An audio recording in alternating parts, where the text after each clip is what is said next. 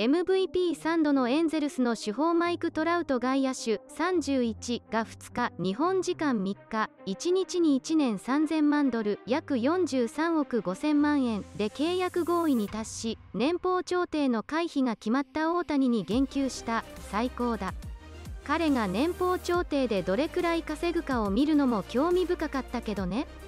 ただ保証された金額を手に入れ彼は戻ってくることに興奮しているんだと嬉しそうに語った。同じ94年生まれで28歳の内野手フレッチャーは特に翔平と契約について話してないよ。僕は一平水原通訳の方が仲がいいからとジョーク交じりに笑い翔平の契約に驚きは何もないよ。早く10年契約を結んでくれるといいねと願っていた。